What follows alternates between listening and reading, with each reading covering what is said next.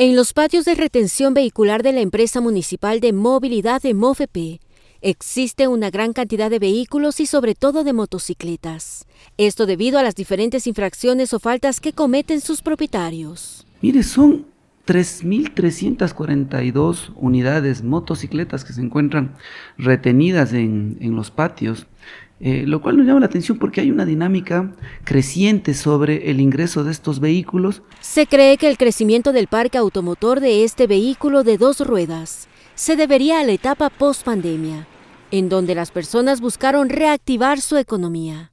Ahora ya no solo de transporte, sino un medio de, eh, de trabajo, un medio a través del cual les permite eh, hacer funciones como las de entrega a domicilio, el delivery conocido como tal. Entonces, eh, sí un llamado a la concientización de estas, de estas personas que adquieren estos vehículos con el fin que fuere, pero incumplen la normativa. Pero esta dinámica hace que el propietario no retire la moto en los patios de la EMOV, sino que adquiera otra. En razón de la ley, lo que hacemos es verificar si en, el, en, un año este vehículo no ha tenido ninguna prohibición ni pronunciamiento judicial, se, se, procedería a un remate. Y si llegase a los tres años, a una chatarrización, ese plazo, ¿no? Esa espera. En estos primeros cuatro meses del año, se ha retenido cerca de mil motocicletas. Recordó además que este medio de transporte ha sido uno de los más utilizados para delinquir.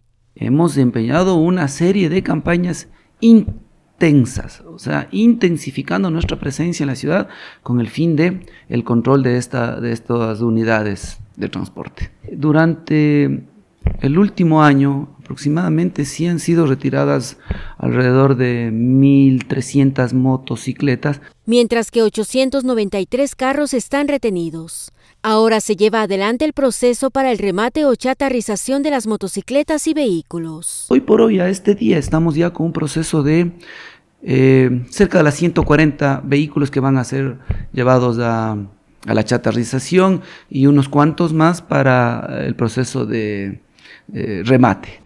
María José Ortega, Unción Televisión.